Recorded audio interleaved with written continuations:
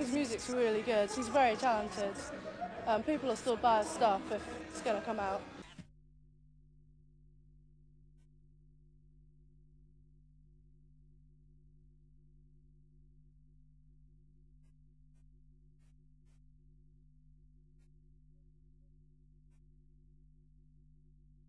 It's an unusual idea. No one's ever put a great hits and then put a brand new record with it. I mean, it's, it's a very big, a big record. I mean, it's 145 minutes of music. But I think that um, Michael's creative genius is intact on this record, definitely.